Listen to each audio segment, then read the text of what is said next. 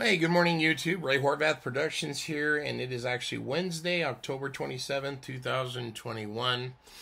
And I am coming at you guys with another video about the KRX, and this is going to be the 7,800 mile review. So, another 800 miles. This is the front of the Doña Ana Mountains, uh, one of the jagged areas, or I kind of like this area myself by the lasso. Um, we also had an issue, but uh, before I move on to that, please hit that like and subscribe button, guys. It really helps me out, and it doesn't cost you guys anything. I'd like to get the subscriber base up uh, so I can continue to do these videos for you guys. Um, before I get into the issue that we had with the KRX, uh, also just got over a cold, and I'm doing this uh, voiceover on this new mic. I'd like to answer a couple questions that uh, some of the viewers had asked me in the comments and some emails. And I appreciate all the comments and emails. Please keep them coming. I will try to answer every single one of them as uh, we move on. Uh, I can't get to all of you. I apologize. I eventually will. Um, but uh, yeah, we did have one issue um, with the KRX. Stick around to the end of the video and I'll cover what that was. Uh, but in the meantime, a couple of questions. They're asking um, A, what kind of fluids do I use? A very simple. 100% synthetic AMSOIL. I use that everywhere that lubrication is required. Yes, they do make uh, the fluids for the KRX everywhere, and you can pick it up at their website. Um, second thing, um, why did I go back to the X-Comp uh, tires? Well, very simple. The Patagonias were lighter. They rode really well. I like these for the durability. They are a 10-ply tire. They're DOT approved, and I think they're one of the most rugged and toughest long lasting tire that I've experienced um, and used for this type of terrain uh, that I ride in. And uh, as I stated before, that's a lot of lava flow down here, a lot of jagged rock, and these tires just hold up extremely well. Um, I did switch them previously so I could try to get a better ride out of it. Turns out I was running the Patagonias, I'm sorry, the X-Comps previously at uh, a lower pressure, and I'm running these at 22 now, and that seems to uh, give me a better ride. And it was interesting because after doing some research that uh, I wasn't aware of, uh, by running the tires at a lower pressure, I was not allowing the shocks to do their job. Um, it was being absorbed by the tires. And there's little Mackie. He comes out with us occasionally, loves to ride with us. But uh, anyway, yeah, running the tires low pressure wasn't allowing the the shocks to actually do their job and work. It was being absorbed partially by the tire, and by the time the uh, impact went into there, it was offsetting the whole purpose of the of the shock and the spring kit. Uh, this is some uh, typical area that we ride in. A lot of you guys are asking, well where is the Doña Ana Mountains? And I mean, you can Google it, but the typical terrain here is desert, rock, lava, um, sandy arroyos. Goes from uh, kind of solid forms of rock all the way to jagged and loose gravel. Uh, but that's kind of the area that we ride in, and these tires, in my opinion, are perfect for this. All right, second question I want to answer. Uh, yes, I did install the S&B particle separator. I got some questions on that from my previous video. And does it is it worth it? Yes, my opinion it is. This is the area, a better shot of uh, the area we ride in, just how arid it is, how dry. Now, for me, um, you got to imagine this part of the uh, desert southwest. You've got, even on the the winter days, there's just a tremendous amount of dust. And this thing, I can say, I have only gone through one filter. It's the same air filter since I put this on, and the thing looks brand new.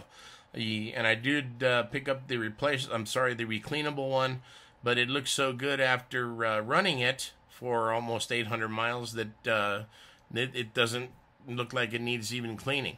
So the particle separator, in my opinion, uh, well well worth it. Um, so if you're thinking about getting one, um, just head over to S&B. Uh, I can also drop a link below if you guys uh, want to pick one of those up. Uh, but I think it's well worth the money, um, especially in, if you ride in this kind of area uh, or anywhere in the desert southwest. Uh, this is a shot of some of the steeper terrain, and this video does not do it justice. Um, but just again, the way these tires grip, uh, I'm almost at a um, standing up almost as I come down this incline. That's how steep it is. And these things literally grip so well that I could stop on the side of the hill uh, midway down and not have any issues on this solid rock. But uh, yeah, uh, really, really good tires. I'm really happy with them, and I think I'm going to continue to run them unless I, uh, somebody shows me something uh, different or something better. Um, but coming up on 7,800 miles, and it's been an awesome machine so far. Um, I did have a couple issues, as I indicated in my previous videos. Um, so if you've been following the channel, uh, the bearing on the transmission, the the clutch one way, replaced by Kawasaki, and uh, a couple of other little minor hiccups, um, but nothing major. Mm, but the thing just handles well. The shock therapy, I'm very very impressed with. So if you guys did want to have that done, and and by the way, if you guys live here in Las Cruces um, you don't have to drive out to Phoenix to have it done. If you live close to Las Cruces, um, Throat Punch Performance, which are the guys that uh, install most of my stuff now, uh, they are an authorized dealer for shock therapy. So you can head out to see those guys. They can order uh, the kit, complete kits for your uh, your side by side, whatever one you may own, and they can install it. But anyway, the the problem I had, well, I had shifting my CVT transmission, and I didn't notice it over time. It was acting like an automatic car, and uh, it was the clutch weight kit. So basically, this is the one that I chose. It's uh, from Right Coast Off Road. Now, there's a ton of kits out there that you can make your own determination which one uh, you want to use for your particular conditions and how you ride and what your setup is. But this kit here worked the best for me and I researched it and uh, and I just found why is this thing shifting the way it is? I couldn't figure it out, but it it kind of felt like again an automatic transmission on a car where you'd rev it up and drop a gear and uh, but anyway, what was causing it was the wear on the stock or Kawasaki weights that are inside this uh, that were inside my my uh, CVT. And uh, so I went with these guys. There's a shot of it. And these, I wish I saved the the new weights for you, but these are the stock ones. These are the ones that came with the KRX from Kawasaki. And I'm trying to do this with uh, two hands holding the camera with one, and the wind is blowing. But if you look at the pitting on these weights, it's very apparent. And the wear was just insane. Now, these things are supposed to be smooth, um, when they're installed. I assuming they were when they were new, um, but the pitting on these things are just uh, crazy, very very apparent, and it was changing the conditions inside the CVT and creating this scenario where you felt like you were shifting like a car. And if you know anything about CVTs, that's not supposed to occur. You're supposed to have one continuous motion and it should you know just be a one smooth transition of power no matter what you're doing on the power band or what your speed is but these things were just wore down really really bad. And uh, you can see the pitting there. I hope that that shows up well on camera. But uh, i did not uh, get a shot of the new weights for you guys but you can go check them out at their website. Again i'm not paid by anybody. These things are the ones that uh, I feel would work best for me. And I've got to say, they've worked fantastic since I've had them installed. It uh, they're when you order them, you put in your setup, whether you have what tire size, whether you have a tune, whether you don't have a tune, stock exhaust, etc., etc., and they ship the weights to you uh, configured specifically for your setup and your situation. So Go check those guys out. Again, I'm not paid by anybody. This is just my opinion. There's tons of kits out there that you can choose, but uh, these guys make the most sense to me, and uh, these are the ones I decided to go with. And it's been great. Now I actually feel like I have a brand new machine, and I've got a lot more power. Um, as you can see, it comes with the entire uh, setup You've got different variations uh, of inserts depending on uh, if you want to change your weights. And it comes with the little Allen wrench and the little cross to hold the the uh, CVT open while you're uh, putting the weights in.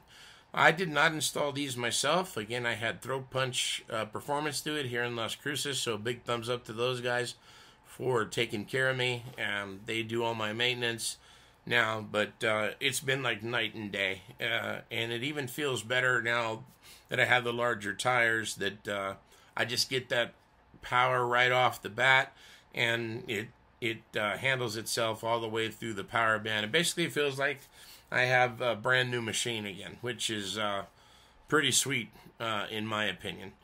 Um, also, you know, um, while they had it off, I'm on my third belt now.